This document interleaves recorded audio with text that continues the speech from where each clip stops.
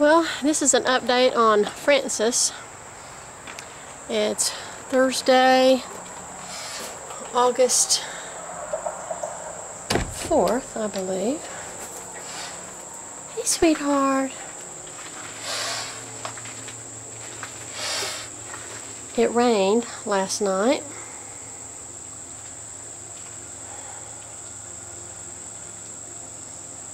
How are you doing, little girl?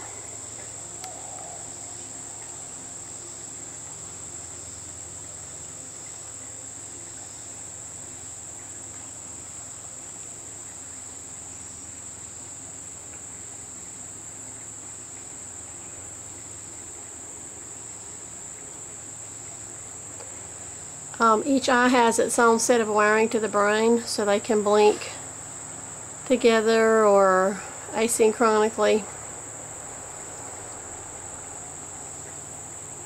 You sure are pretty.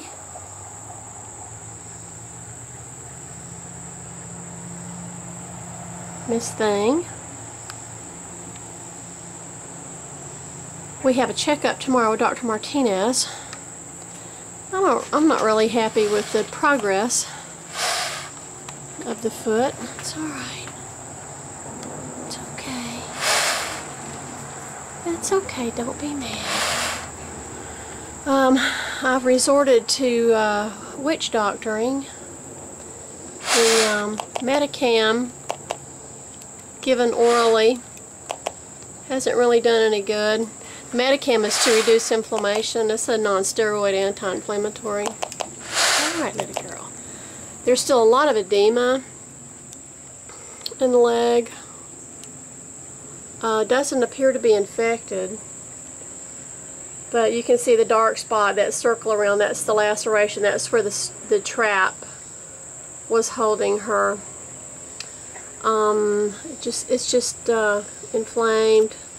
Again, I don't think there's any, hi, I don't think there's any infection, but, um, and I'm using colloidal silver, um, still using the DMSO a little bit, not, not every day, um, and I'm irrigating it with some super duper like Epsom salts on steroids. So, we'll see how it goes. It's alright, little girl. But you can, I don't know if you can, it's really hard to tell the difference in the two legs because the, the feathers have sloughed off. Um, there's a lot of feathers on the other tarsus. And it's, uh-uh-uh, no, don't bite, no bite ums. No bite ums, little girl. Um, so it's kind of hard to tell that this this leg is um, quite a bit more, quite a bit larger than the other one. I know, it's okay. But she uses it, she stands on it, she holds food with it. She really doesn't seem to favor it. Um, and what she's doing now, she's just sometimes when she gets tired of me messing with it, she'll pull it up, but that's normal. The birds rest on one foot.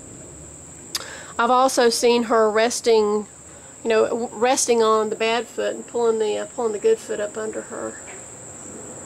Aren't you pretty? Oh my goodness.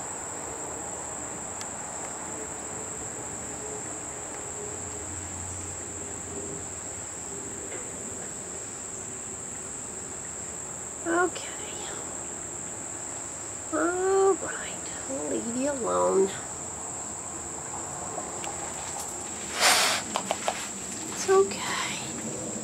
Okay. There's a good girl.